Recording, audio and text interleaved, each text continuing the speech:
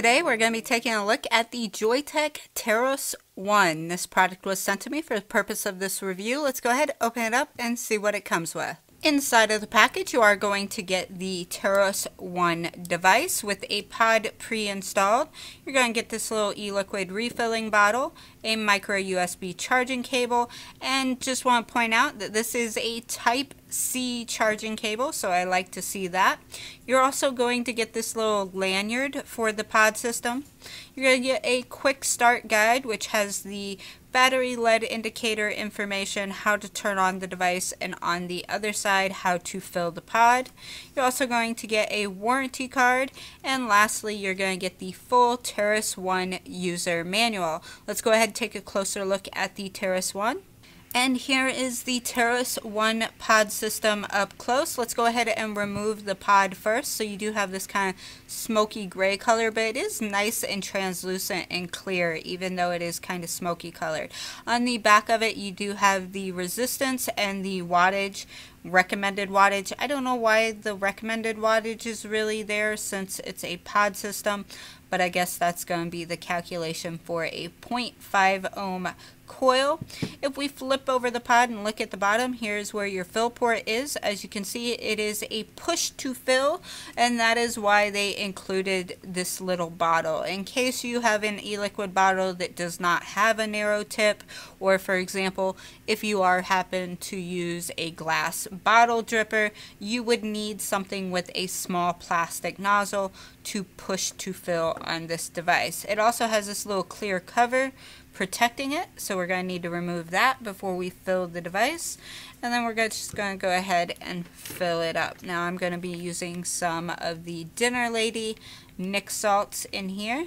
To fill the pod, you're simply going to push your nozzle down in, push, squeeze your bottle, and fill it. It fills up really fast and easily. One thing you do want to be cautious of is if there is any e-liquid remaining in that little cup, you do want to make sure that you wipe it out before you install the pod because you don't want e-liquid getting down into this part of the battery. So installing the pod is simple. It is magnetized so you just kind of line it up there and it clicks into place. Now I will say that it is a little wobbly from side to side but you can feel those magnets holding onto it so the pot is definitely not going to like fall out if you're shaking it. Here on this side of the device is going to be the five clicks on and off. Again, you've already seen this side with the one, both on this side and over here it says Teros 1 flip it up to the bottom. There is your USB type C port. Let's go ahead and power on the device with five clicks. One one two three four five and it's going to flash a green light. Now, when you fill these pods, you definitely want to let them soak and saturate for 10 minutes before you begin using the device.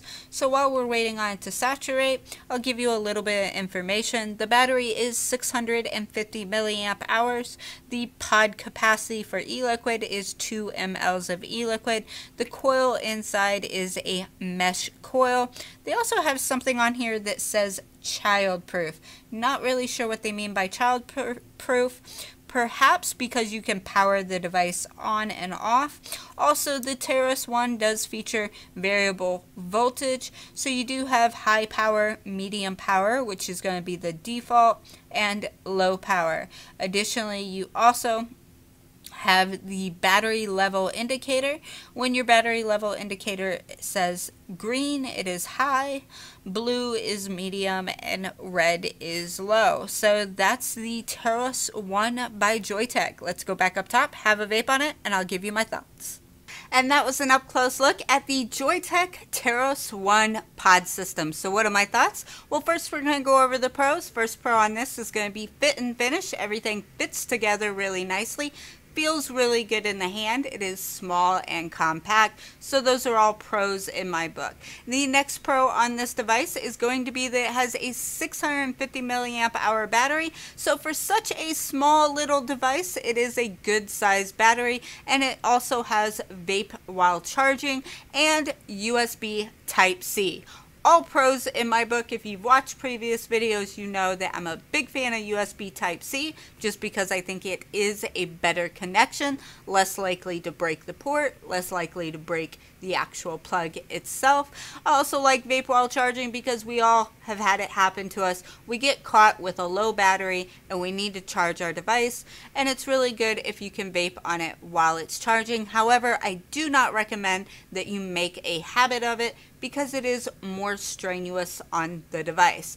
The next pro I have for this is going to be the push to fill on the pod. I love the push to fill. Just makes filling these pods really quick, really simple. Big fan of push to fill. I also had their previous Teros, which you guys know I was a big fan of. They that one was quite different. They definitely made some really good positive upgrades to this one, but as far as the coil heads longevity, that is still really good. I really like the coil heads that they're using in here for longevity. Now I will note, as far as the flavor goes on these pods, if you're using a really fruity, pungent flavor or a solid menthol iced whatever, tobacco flavors, those come through really well on these kind of pod systems. But if you're using bakeries and creams, more subtle flavors, those subtle flavors can get kind of lost in these little pod systems. So be aware of that.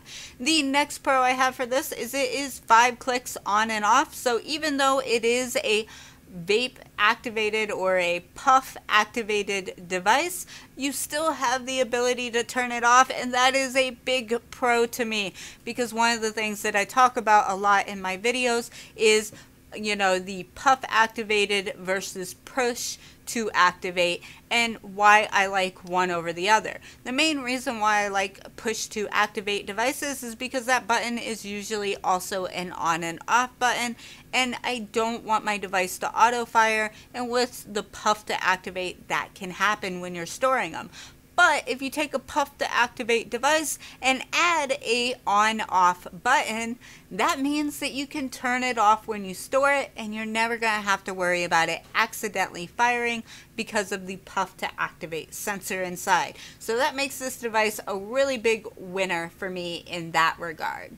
Now let's talk about things I don't like about the device. Well, as far as functionality of the device, I like this device across the board. The only negative thing I have to say about it is they only include one cartridge. And that's very subjective and that's more of just a recommendation to Joyetech to include two pods in the box box. I think for the price point, if you've got to up the price point another 50 cents or $1, do that. It's just really helpful for the customer, especially new vapors, which are more likely to gravitate towards these devices, to have that one extra pod on hand in case of a dead on arrival pod, which has happened to me. It has happened to me many times, and it's always handy when there's that second pod. So that's just a little bit of criticism, I guess, for Joyetech. One thing I didn't show you yet is how it vapes, so let me go ahead and do that real quick. So that is a mouth to lung on a completely cooled down coil. Normally when I'm vaping mouth to lung on cooled down coil like that, I like to give it a few puffs. I'll do that.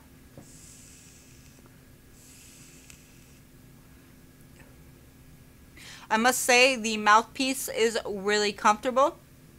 The mouth to lung draw on it is not super tight. Um, it is slightly loose, but I think that it, it's loose enough that you can still get kind of that sucking action. If you notice when I take a vape, my cheeks kind of pull inward. And for me, that's the perfect kind of mouth to lung.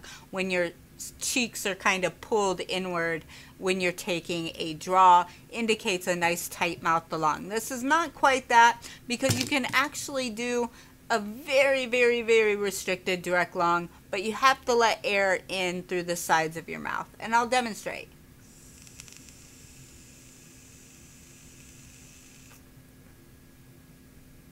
There you can get much more vapor production it gets really warm rather quick when you do a direct to lung pull like that. It's really satisfying.